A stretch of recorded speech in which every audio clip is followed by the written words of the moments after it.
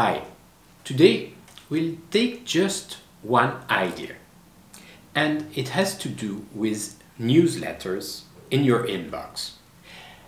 So this morning I was at the gym listening to Marie Forleo's book Everything is Figure which is very good by the way.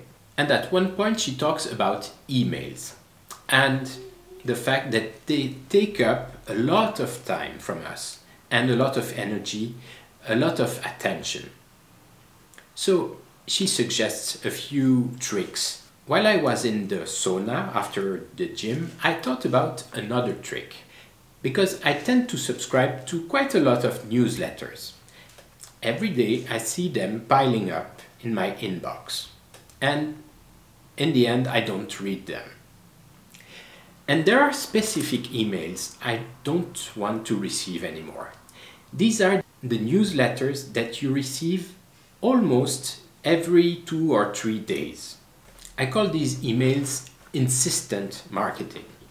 I just don't read these emails and uh, they, they are more like a noise in my inbox than anything else.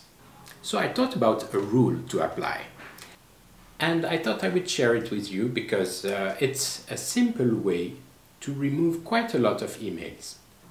For me, it would be I'm okay to get a newsletter if it's no more than 15 emails per year.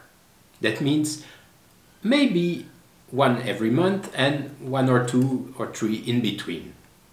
So just now I'm going to unsubscribe to quite a lot of these newsletters. Based on this simple rule no more than 15 emails per year. And I don't think I will just miss anything about what's in these newsletters. Because first it's a lot of repetition. And second most of the time I also subscribe to these people or these in institutions on other platforms as YouTube or podcasts. And in a way, if they interest me, and they do in a way interest me, I got something from them on another platform. So that's it. One technique to deal with these newsletters that in the end we don't really need, we don't really read because uh, it's way too much. Now, if you have a specific technique that you apply, please leave a comment here below and share it with us. Please subscribe to my YouTube channel. Take care and see you next time.